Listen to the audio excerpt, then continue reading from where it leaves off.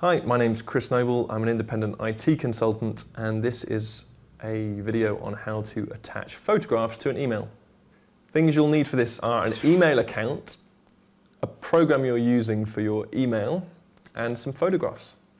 If you're using an email application like Outlook Express, Microsoft Outlook, or Mail on a Mac, then adding a picture to an email couldn't be easier.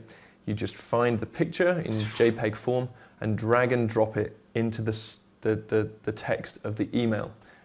It'll then attach it to your email. You can add whatever text you like and send it on.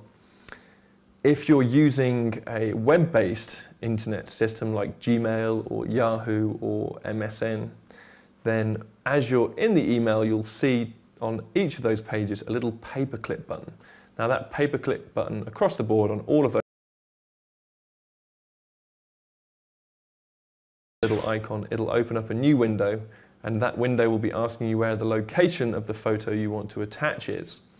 Just find the location of the photo, click select, and it'll insert that photograph into the email. Then just put the person's name or the email address into the to line, whatever text you're going to send, and send the email. My name's Chris Noble, and that's how to attach images to email.